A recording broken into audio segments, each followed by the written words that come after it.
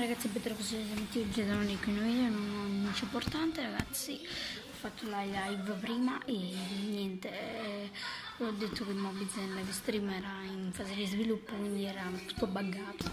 Quindi non farò live per, questo, per un po' di tempo. E niente quindi sarà un po' di inattività al canale perché non so se farò tanti video. E niente forse farò camera free live forse lo faccio qualche live non lo so.